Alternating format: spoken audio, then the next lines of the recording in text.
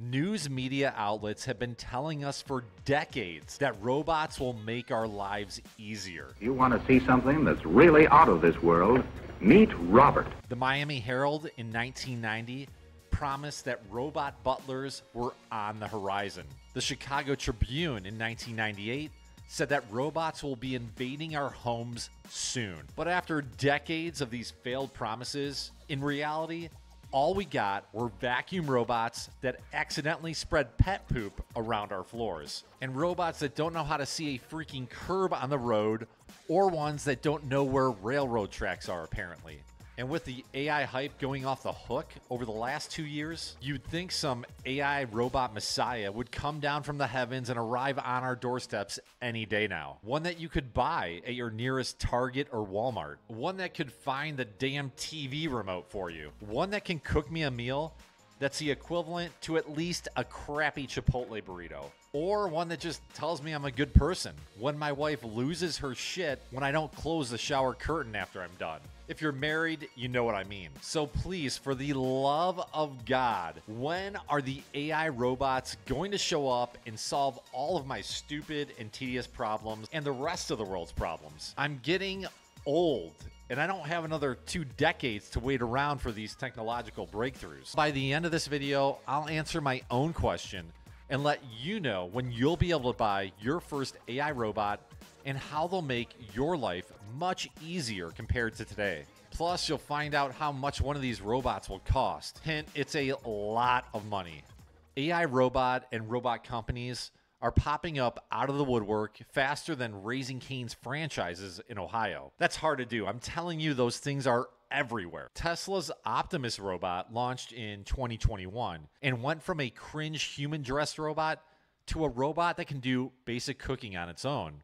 The robot from Figure AI, which launched just over a year ago, went from a prototype that could barely walk to a robot that can learn how to put car parts together on the spot completely on its own. So, as you can see, robot technology is moving along quickly, and that's all because of breakthroughs in visual based AI learning. In the good old days, before ChatGPT and visual based AI learning became a thing, most robots and self driving cars, for that matter, were trained on rules based technology, meaning computer programmers would have to write thousands, if not hundreds of thousands, of lines of computer code to give a robot its brains. Code that would tell the robot exactly what to do in any given scenario. In the past, if you needed a robot to clean your dishes, most likely your robot would need custom computer code to do that simple task. Code that would tell the robot the exact location coordinates of your dishwasher and the precise position of your dishes and plates in your home. If it didn't have these position points, your plates would be thrown all over the floor like some drunken idiot.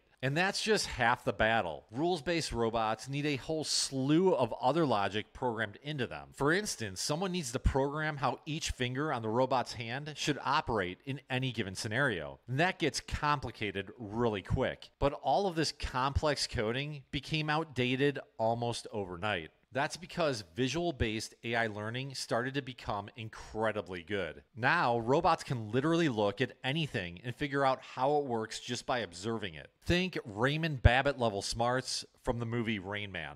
Here's a real world example of visual based learning in action. And before I get into this, just know this I absolutely despise paid parking. I mean, it's an absolute government racket. Just Google how the city of Chicago sold their streets. If that doesn't piss you off, you might want to check your pulse. Anyways, if you park your car on the street and there are five plus signs telling you when you can and can't park for free, just take a picture of that sign salad, upload it to ChatGPT, and let it do its work. It will use visual based AI learning, not rules based, to tell you the exact times you can park for free. No more worrying that your car is going to be towed to some shady neighborhood by the cops. It's this power of visual based learning alone why robots have become exponentially smart this last year. And if it weren't for this, you'd probably have to wait another 20 years before you get AI robot butlers in your homes. So you might be thinking, when will robots be available to buy then? Well, Elon Musk thinks you should be able to purchase them in 2026. Recently, he stated,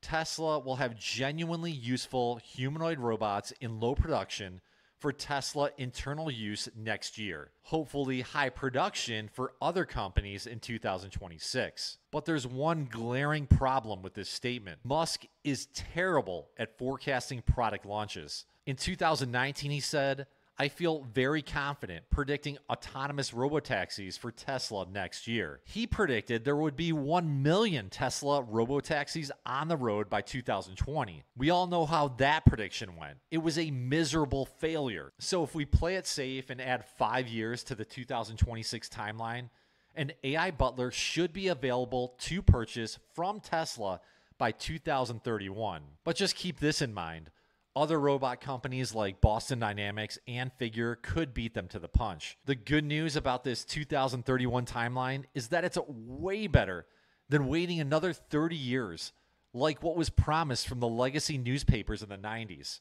I can't wait that long, anyways. I'm too old and ancient and I don't have time to wait for another 30 years. By then, I'll need a robot nurse for my hospice care or a robot to help put my coffin in the ground. So let's pretend now for a moment that it's the year 2031. Your new robot arrives on your doorstep like the major award from the movie The Christmas Story, and it ends up revolutionizing your life. You'll never have to wash your clothes, clean your house, cook your food, or do errands ever again. You want a margarita while you sit on your couch and doom scroll YouTube all day?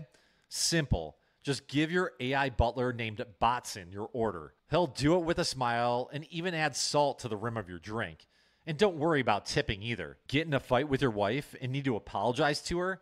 Easy. Just have Botson write you a handwritten apology note for you. Not that I would ever need to do that. Pretty much anything you can think of will be possible with AI robots. It's not just me saying that either. An Oxford research study determined that a significant amount of household chores will be outsourced to AI robots within the coming years. So get ready because the next 10 years is going to be wild. Chores are going to be thought of as some ancient thing your grandparents did back in the day. Because of that, our entire world is going to be even more spoiled and entitled than ever before, even if that seems impossible right now. And if you're lucky enough to be able to purchase one of these robots, they should sell for around twenty to thirty thousand dollars or about half the cost of a new car. So start saving up now, or just put it on a credit card when the time comes. I mean, that's what everybody does nowadays, anyways.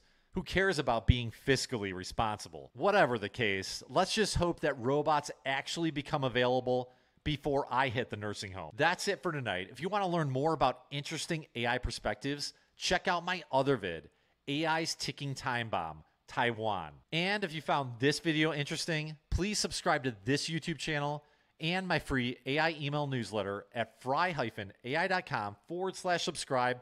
Have a great night. This is Ryan signing out. Take care.